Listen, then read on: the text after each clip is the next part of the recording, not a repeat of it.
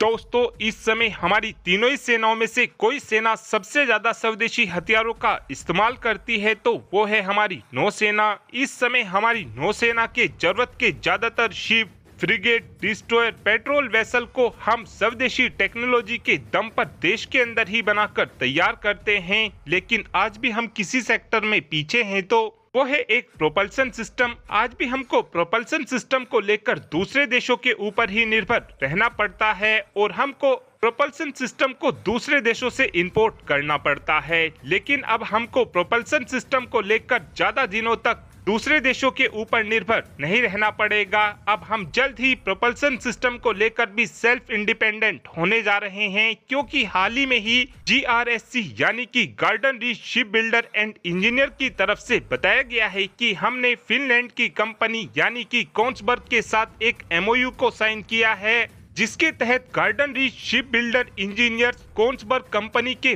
Water jet propulsion system को भारत के अंदर ही बनाएँगे और फिनलैंड की कोन्सबर्ग कंपनी की तरफ़ से अपने वाटर जेट प्रोपल्सन सिस्टम की टेक्नोलॉजी भी भारत के साथ शेयर की जाएगी। वाटर जेट प्रोपल्सन सिस्टम की बात की जाए तो इनको स्पेशली छोटी patrol vessel, high speed vessel में इस्तेमाल किया जाता है। अभी तक इस तरीके के वाटर जेट प्रोपल्सन सिस्टम हम दूसरे देशों से ही लेते आए हैं, लेकिन अब फ्यूचर में ऐसा कुछ भी नहीं होगा, क्योंकि अब कोन्सबर्ग अपने वाटर जेट प्रोपल्सन सिस्टम की टेक्नोलॉजी भारत के साथ शेयर करने वाली है और उम्मीद इस बात की की जा रही है कि आने वाले पाँच सालों के अंदर अंदर हमारी नौसेना और हमारी कोस्ट गार्ड की तरफ़ से 140 से 150 की संख्या में fast interceptor boat patrol vessel को खरीदा जा सकता है। जिससे ये बात तो पूरी तरीके से साफ़ थी कि हमको अच्छी खासी क्वांटिटी में प्रोपल्सन सिस्टम की ज़रूरत पड़ने वाली थी और अगर हम थोड़ी थोड़ी संख्या में दूसरे देशों से प्रोपल्सन सिस्टम को इंपोर्ट करते तो